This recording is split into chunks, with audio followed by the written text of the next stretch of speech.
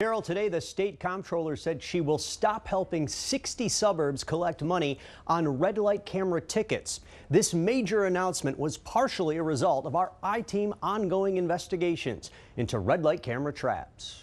As of February 6th, the Comptroller's Office will no longer help Illinois municipalities collect these fines. State Comptroller Susana Mendoza saying her office will stop assisting dozens of suburbs that rely on her to collect red light camera fines if offenders don't pay.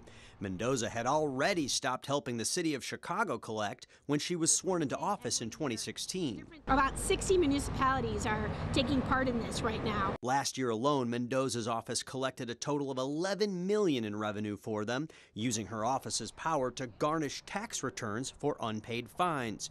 The announcement comes after several I-Team investigations into alleged red light camera traps. In a joint investigation with the Sun Times, we reported that experts said a majority of the red light camera tickets were issued to people making right-hand turns on red lights. Has that been any part of your decision making? It is. I think that your investigations, frankly, have been very helpful. And we, this is an issue that we have not taken lightly.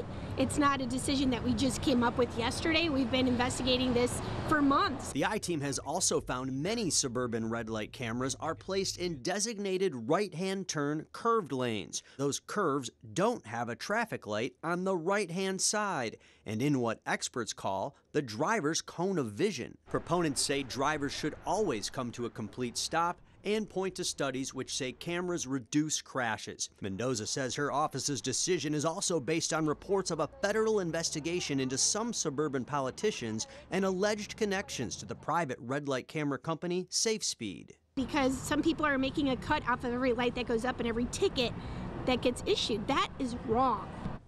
The I-Team reached out to SafeSpeed for comment and it declined. SafeSpeed has denied allegations of wrongdoing and officials have never made any accusations against the company. According to our red light camera investigation in 2017, the suburbs brought in $67 million in just one year.